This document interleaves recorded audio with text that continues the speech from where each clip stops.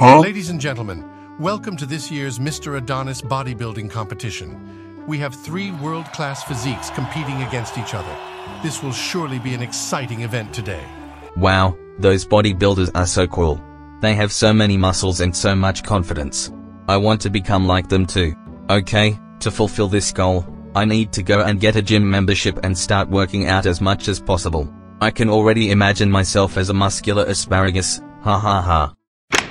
Wait, I need to call Pepper and ask him to become my gym bro. Hello Asparagus, how's it going? Pepper, I'm starting my bodybuilding journey today, and I need you to become my gym bro. You're becoming a bodybuilder, huh? Even my grandma is more muscular than you. Hee hee hee. Shut up Pepper, I will train hard and become the next Mr. Adonis. Okay, we will see about that. Unfortunately, I can't come to the gym because my favorite TV show is about to start. Bye. Fuck you! Okay, then I will do this on my own.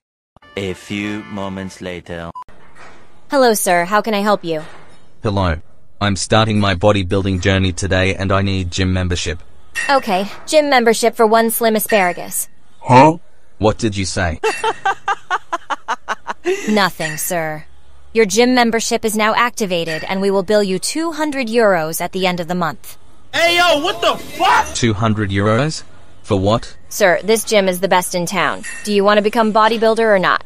Okay, okay, whatever. I need to get to work. I don't ever slow up, no I don't take shit I got no love for the fakeness If you wanna play tough and wanna hate this up, no I don't take shit. I got no love for the fakeness. If you wanna play tough and wanna hate this I'll always show up and make a statement. I don't ever slow up, no I don't take shit. I got no love for the fakeness. If you wanna play tough and wanna hate this I'll always show up and make a statement. Everything I do so instinctive and so passionate.